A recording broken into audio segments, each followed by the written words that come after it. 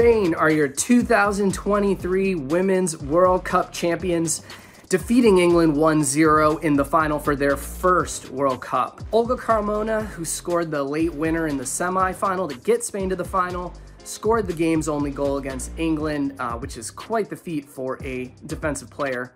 Uh, in truth, Spain fully deserved this win. They controlled most of the possession, they had more of the chances, and as the game was ticking down toward its conclusion, Spain looked a lot more likely to find a second goal than England did to find an equalizer. Now, it's hard to talk about this Spain team without talking about the journey that they've been on over the past year.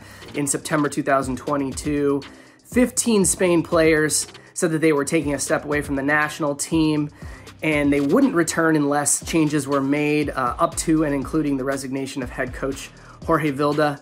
Uh, the Spanish Federation pushed back against those players. Uh, Vilda stayed in his post, and the Federation even demanded those that those players apologize for them to return to the national team. Now, of those 15, only three managed to make the World Cup squad. Some voluntarily held themselves out, some opted to return and weren't picked.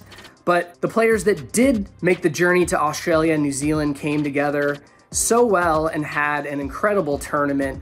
And now Spain has really cemented themselves as one of the preeminent powers in world soccer.